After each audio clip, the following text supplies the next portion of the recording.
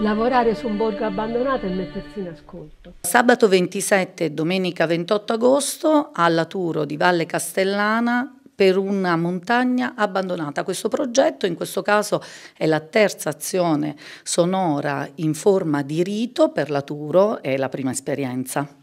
Sì, per la Tour della prima esperienza siamo stati subito entusiasti di accogliere questo progetto in questo borgo eh, abbandonato fin dai primi anni 50 per le gravi problematiche economiche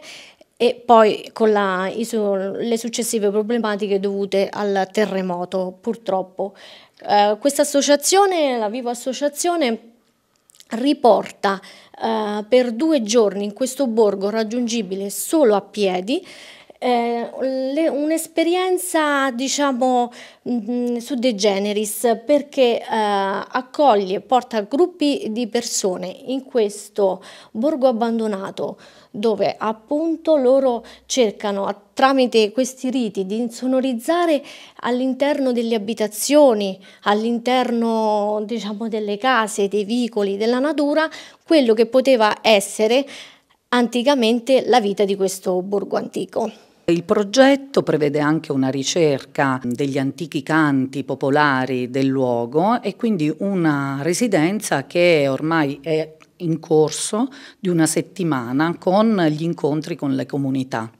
Sì, eh, è partito proprio ieri il progetto, diciamo proprio di elaborazione, perché il progetto è partito molto prima,